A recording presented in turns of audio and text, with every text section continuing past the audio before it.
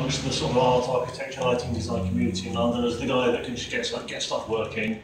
Um, so these are just a few pictures of um, some of the various installations, like some mutant pandas and UFOs and other crazy things. And what I'm talking about is really that when you're dealing with art, it's a bit different. Literally, this is how it all started.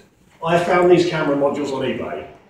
You can buy a tray of 70, they're a bit more expensive now, I think they're about 100 bucks for a tray of 70 um, when I first found them. I think maybe they saw some demand and they're, they've gone up a little bit, but they're dirty the right signal, so we can just throw a torrent of data out of the PIC and it will generate the right signal every 16 clocks, so we can just blast data into the um, LCD. We can use DMA to do that as well, so we can get very high bandwidth from the PIC to the LCD the times we'd use this is if, for example, we wanted to say flash a, a fixed colour block on the LCD, or we want to display an image from the onboard SPI flash to the LCD.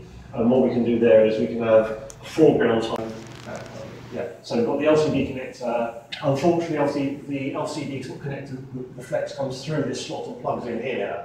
And obviously, because the flex on the LCD is a very fixed size, the position of this connector is pretty much fixed. There's not much we can do about it and we were very, very close to where the camera had to go. And in fact, ideally, this connector should have been a bit further down to keep this camera flex straight.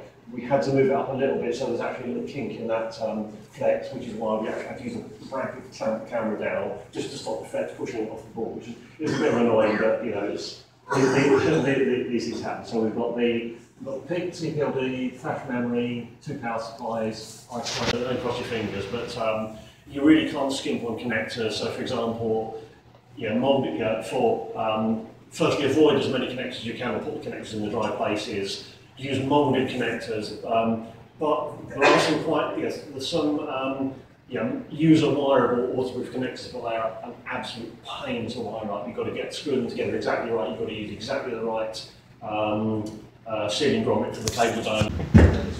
Eight wires.